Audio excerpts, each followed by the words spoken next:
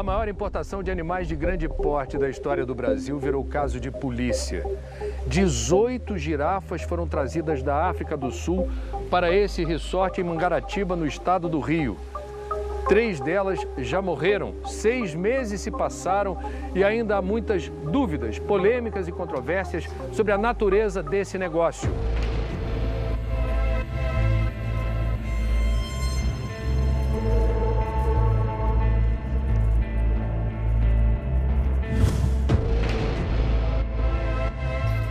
Em novembro do ano passado, 18 girafas chegaram ao Brasil vindas da África do Sul num jumbo fretado. O que parecia ser um projeto secreto tornou-se público quando seis girafas escaparam do lugar onde foram colocadas no Safari Resort Porto Belo, em Mangaratiba. Elas foram recapturadas, mas três dos animais acabaram morrendo horas depois. Exames feitos nos cadáveres por veterinários da empresa responsável pela importação constataram a presença de substâncias associadas a estresse profundo. Oficialmente, a causa da morte foi miopatia. Miopatia é uma alteração fisiológica que acontece em algumas espécies animais é, que acaba alterando o metabolismo e o pH sanguíneo, afetando alguns órgãos, entre eles o músculo cardíaco, o rim e outros, que levam os animais a óbito.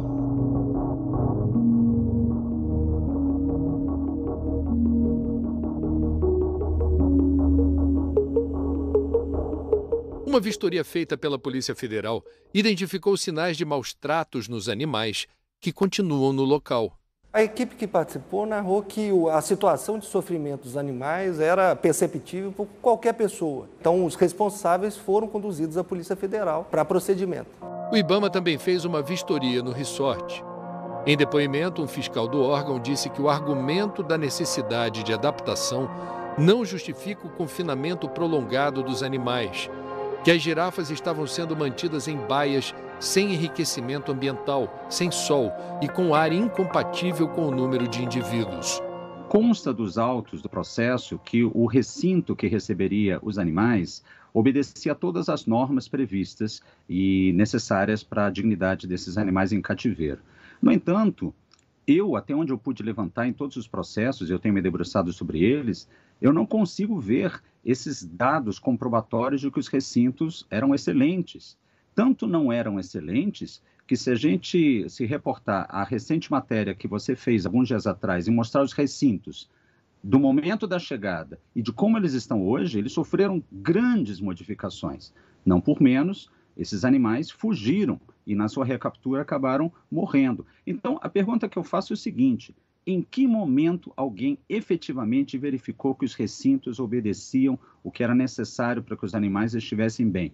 Veja só, 18 animais de 5 metros chegam no aeroporto do Rio de Janeiro, são destinados a um local a 100 km de distância e eu não tenho conhecimento de nenhum técnico que tenha acompanhado o desembarque desses animais e ter visto que os recintos eram estranhos, eram pequenos, eram apertados. Tudo isso passa à margem de todo o processo fiscalizatório. A repórter Mônica Sanches acompanhou o início das investigações que indicam a possibilidade da importação das girafas ser ilegal.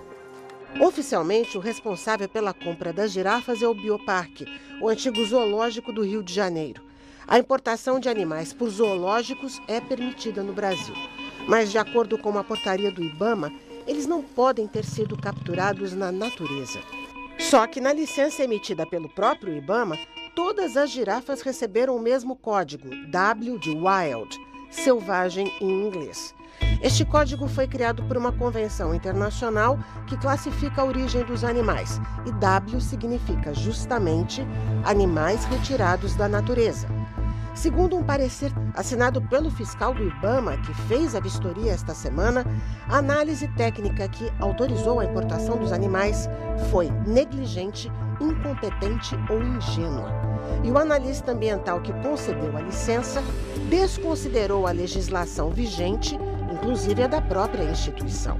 o relatório do IBAMA, em primeiro lugar, ele conclui essa questão da negligência, ele conclui que houve essa importação, no princípio, foi irregular ou ilegal, uma vez que essas espécies foram retiradas da vida selvagem. Por isso que para nós é muito importante analisar esse processo de importação e verificar se nesse processo há mais dados, há mais informações sobre a origem dos animais, sobre quem é o exportador, etc.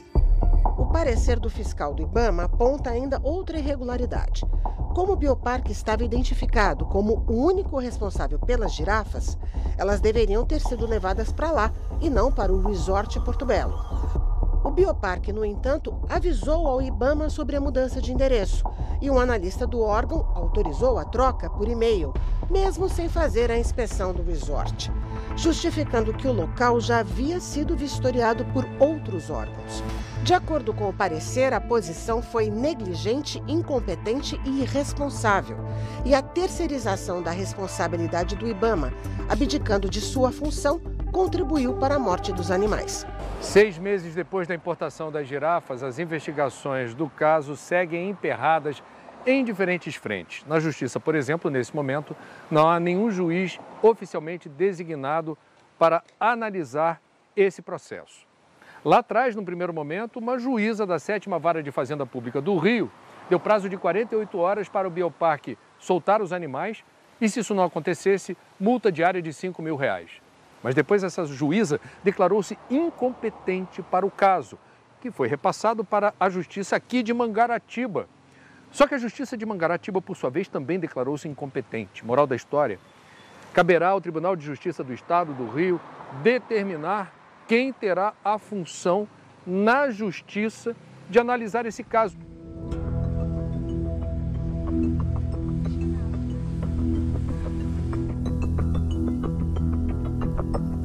A Polícia Federal, por sua vez, também abriu uma investigação, já foi feita perícia aqui no Porto Belo Resort, mas o relatório final ainda não foi divulgado.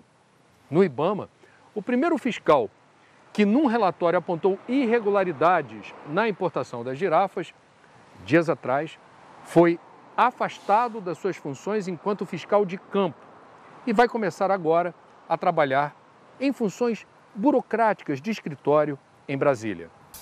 No Ibama desde 2004, ele já comandou a fiscalização do órgão e foi um dos idealizadores do GEF, o grupo especializado de fiscalização, a tropa de elite do Ibama. Cabral foi um dos responsáveis pela erradicação dos animais usados em circos no Brasil e revelou conexões entre criadores oficialmente registrados e traficantes de animais silvestres. Antes de 1967, a fauna no Brasil era considerada res nullius. Res nullius significa coisa de ninguém. A partir de 1967, a legislação tornou a fauna propriedade do Estado. Então isso mudou a conjuntura de como a fauna era tratada. A sociedade tem que entender o tráfico de animais silvestres como crime, um crime que mata a sua biodiversidade, é a biodiversidade nacional, e retira de cada cidadão o direito de ter esses animais livres. O afastamento de Roberto Cabral levou um grupo de servidores a endereçarem um abaixo-assinado à Superintendência do Ibama contra a decisão. A Associação dos Servidores de Carreira de Especialistas em Meio Ambiente no Distrito Federal também encaminhou ao presidente do Ibama, Eduardo Bin, um pedido de esclarecimentos sobre a transferência de Roberto Cabral para serviços burocráticos. Nós estamos aqui no Porto Belo Resort, em Mangaratiba, do lado de fora, próximo aqui da área que foi construída para abrigar as girafas, uma cerca de 5 metros de altura. O Porto Belo é considerado pelo Bioparque um parceiro estratégico nesse projeto que os responsáveis chamam de revigoramento genético ou conservação da espécie. Ninguém do Bioparque quis gravar entrevistas, eles responderam por escrito algumas questões encaminhadas por nós. O Bioparque afirma que não há qualquer irregularidade, muito menos maus tratos em relação às girafas. Afirma que elas foram trazidas da África do Sul, de fazendas onde há plano de manejo e não da vida selvagem. O custo original do projeto de 6 milhões de reais já foi ultrapassado, mas os valores atualizados não foram compartilhados até o momento. O Bioparque também ainda não definiu para onde os animais seguirão, para quais zoológicos ou parques do Brasil e o tempo que ainda vai levar para que esse movimento aconteça. E justificou o fato de trazer de uma só vez 18 girafas para o Brasil, alegando que esse plantel, esse grupo de girafas, seria o adequado para realizar esse projeto em favor do que os responsáveis pelo projeto chamam de conservação da espécie.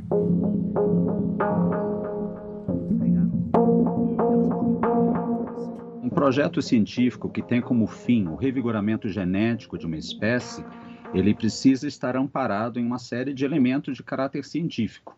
Por exemplo, um projeto que avalie o perfil genético dos animais e assim por diante.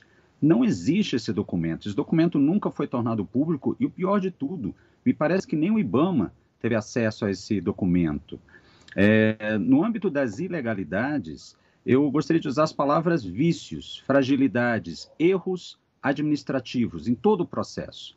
Tanto o IBAMA, como INEA, é, como as prefeituras que estão silentes neste caso, a Prefeitura do Rio, a Prefeitura de Magaratiba, o Poder Judiciário Estadual, todos eles cometem uma série de erros processuais que vão na contramão das boas práticas, dos processos administrativos que concederam a entrada desses animais no país.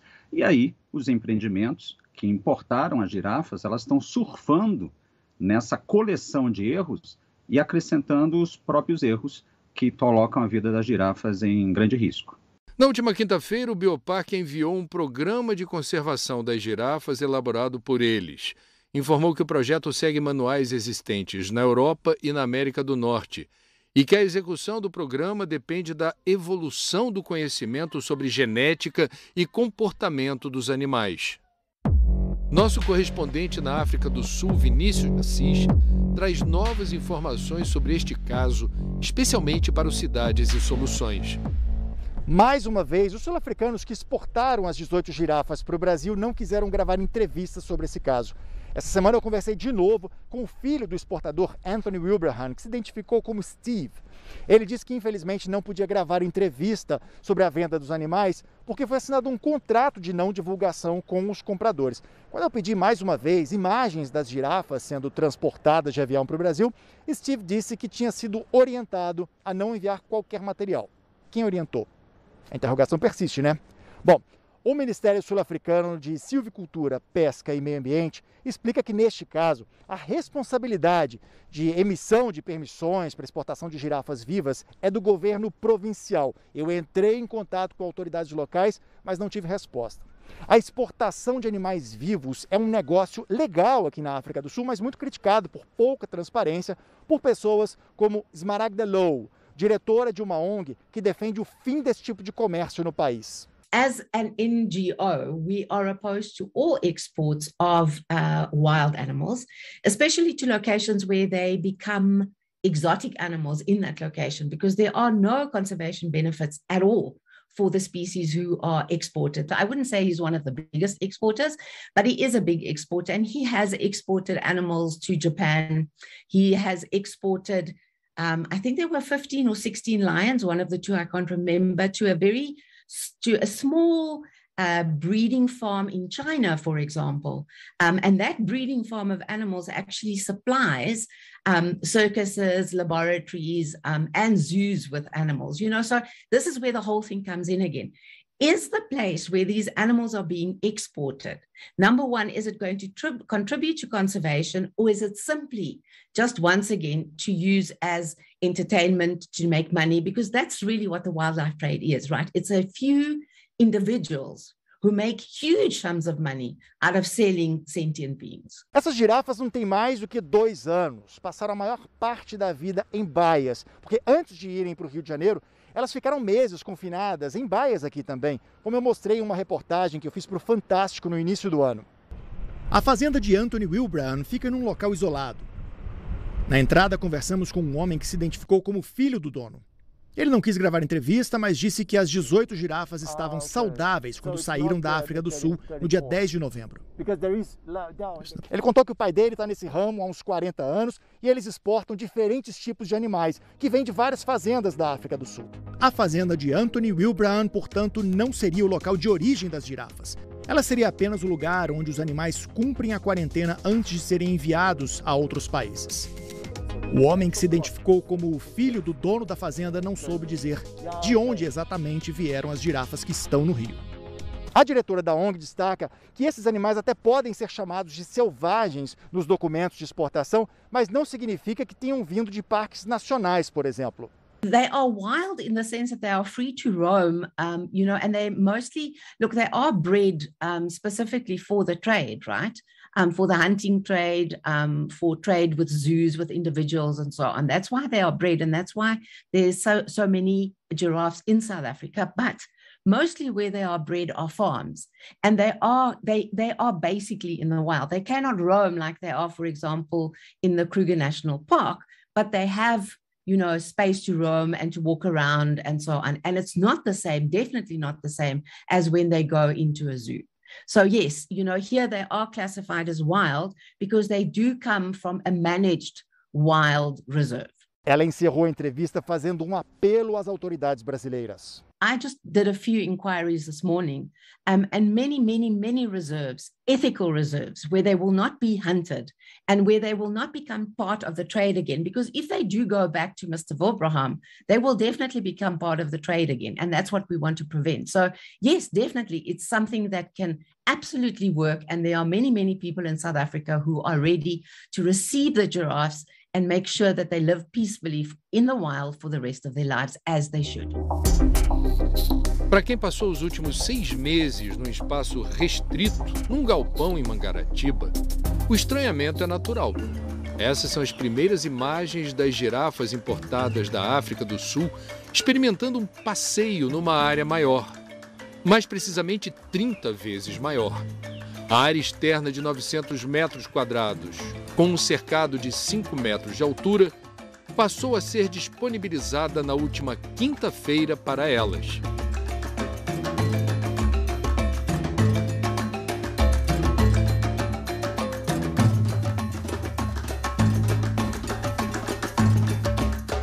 Bom, a gente recebeu autorização para mostrar aqui a circulação das girafas esta semana, depois de seis meses, em baias de 31 metros quadrados, com direito a banho de sol uma vez por dia, por uma área 30 vezes maior, 900 metros quadrados aqui atrás de mim, que é o que o Bioparque está chamando de aclimatação. Elas estão sendo preparadas para uma nova rotina, uma nova realidade, quando forem distribuídas para outros parques e jardins zoológicos do Brasil.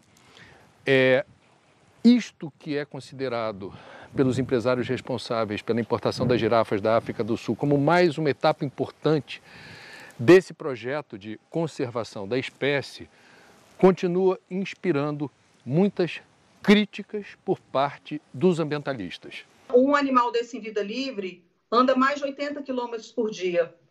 Você, você imagina o sofrimento delas em estar é, presa em ambiente de 30, 31 metros quadrados, três indivíduos, elas mal podem, podem se locomover. Esses animais estão sendo submetidos a um estresse, não só físico, como psicológico. Nós temos aí é, um crime de maus tratos permanente, porque as girafas permanecem em maus tratos. Eles estão tentando aplicar uma técnica de manejo que não é usada e não é conhecida por nenhum técnico da área. E o desdobramento de tudo isso e as consequências para esses animais, infelizmente, nós não sabemos qual será o desfecho. Zoológico não é filantropia, ainda mais num grupo dessas dimensões. Você importa 11 fêmeas e 7 machos, é porque você está querendo gerar prole. Bebês girafas movimentam uma série de serviços e produtos, souvenirs, vendas de ingressos, campanha para escolher o nome do filhotinho. Então, sob meu ponto de vista, há uma falsa narrativa de um projeto de caráter conservacionista é, e científico, mas que, na verdade, tem como carro-chefe a movimentação de um fluxo a esses estabelecimentos, zoológicos neste caso, que estão, é, ultimamente, sendo bastante criticados pelas suas ações.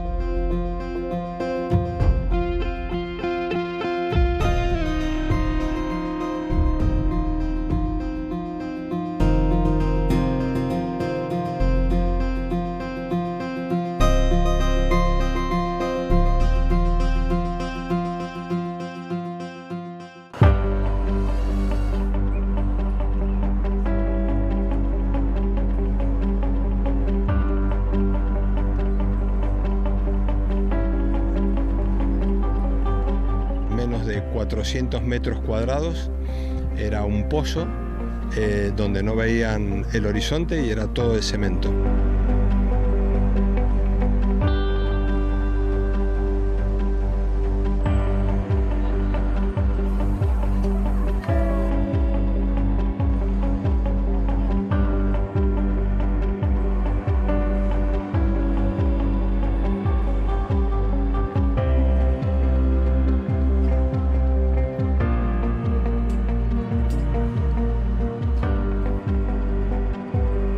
Vez que ela tá no nível, ela, poxa, Guilhermina no nível das pessoas, vendo o horizonte, vendo muita vegetação, vendo coisas distintas, coisas que elas nunca viram, né? É um ambiente grande, rico, com uma diversidade de incentivos para ela, estímulos.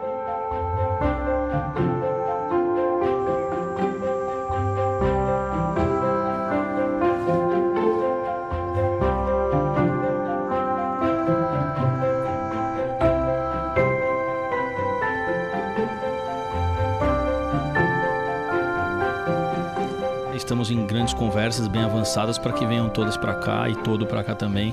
É, os recintos já estão construídos aqui. Agora, devagarzinho, elas vão, vão ficando mais confortáveis, se sentindo mais seguras, se sentindo mais tranquilas para poder, de fato, viver a vida nova, se ambientarem e conhecerem as, as companheiras aí de santuário.